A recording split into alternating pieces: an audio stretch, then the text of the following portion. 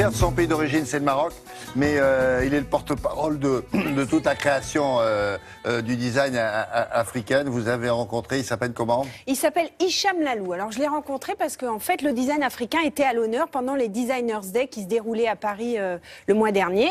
Et en, bah, voilà, Hicham je l'avais rencontré déjà hein, parce que d'abord je suis un petit peu née au Maroc. Moi aussi. Oui, un, petit peu, c'est-à-dire une partie Bah, de vous-même ou... euh, bah non, complètement moi-même. Ah, complètement Ouais. vous-même.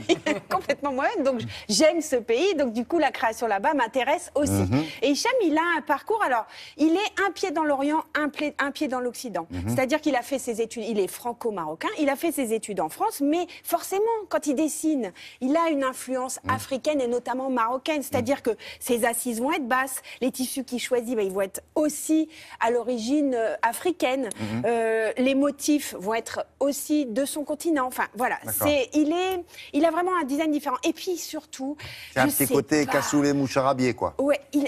Comment? Oui, c'est ça. Cassou- ah, c'est bien.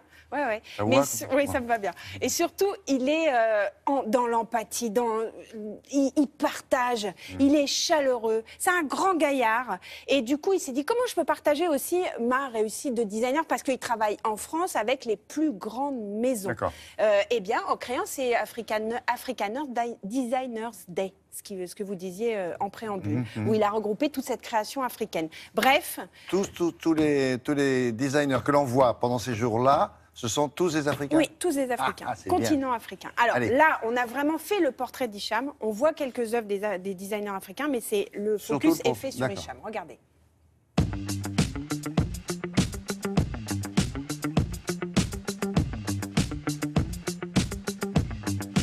J'ai lancé en 2014 les Africa Design Awards en disant c'est vrai qu'en Afrique, il n'y a pas beaucoup de plateformes ou de hubs qui permettent de faire la promotion du design en Afrique ou en dehors de l'Afrique.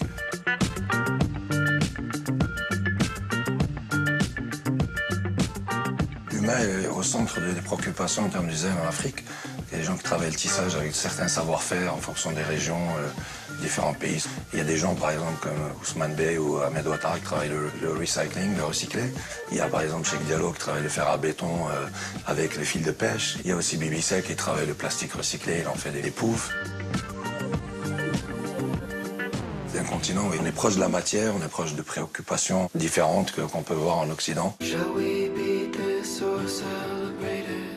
Mes créations sont en lien avec mes- ma double culture. Quand je fais la, la collection Wax, il y a une assise qui est pas très haute. Donc on est à mi-chemin entre un fauteuil lounge, une chaise ou une, une chauffeuse. Mais en même temps, on retrouve l'assise africaine basse ou carrément l'assise basse qu'on retrouve au Maroc ou au Maghreb. Je travaille avec un grand cristallier français, il y a le travail des arts décoratifs, d'un vrai savoir-faire, d'une ancienne manufacture royale. Donc il y a toute une histoire derrière ça.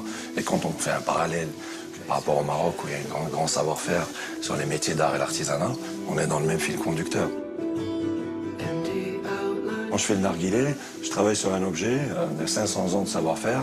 C'est assez intéressant de venir s'intéresser à d'autres cultures et venir y insuffler un nouveau langage, un langage euh, que j'ai appris à l'école à Paris et que j'ai après euh, l'école de la vie, en interaction avec tout ce que j'ai vu, venir euh, apporter quelque chose de nouveau pour euh, dessiner un objet qui est le narguilé.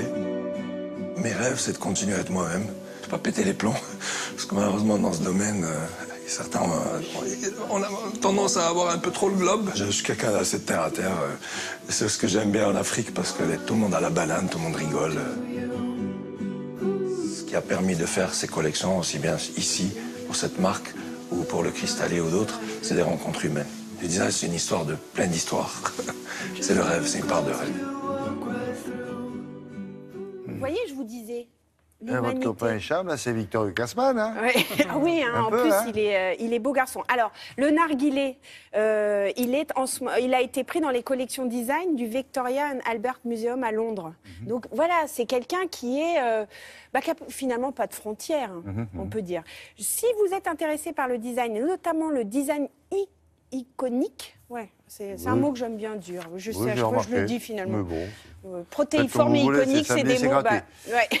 eh bien, sachez qu'il y a le salon du vintage qui se tient là aujourd'hui et demain au carreau du Temple à Paris. D'accord. Il faut y aller pour les collectionneurs.